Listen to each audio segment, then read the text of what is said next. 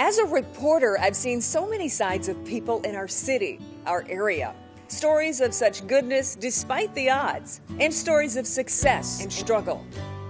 We have such a spirit in this town.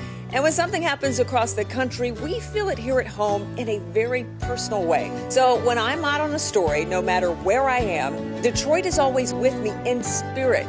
And that makes a difference. We're Local 4. Local is there for a reason.